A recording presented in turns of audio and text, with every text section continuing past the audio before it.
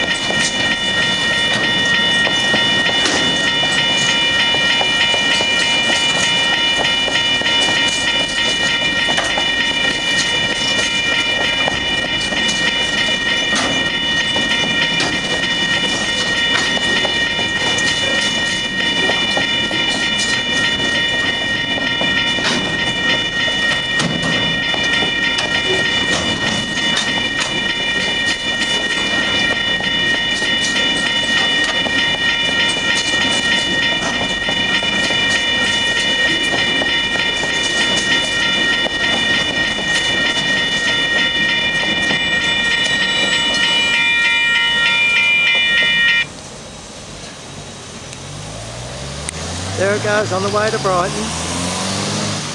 Thanks for watching everyone. Thank you.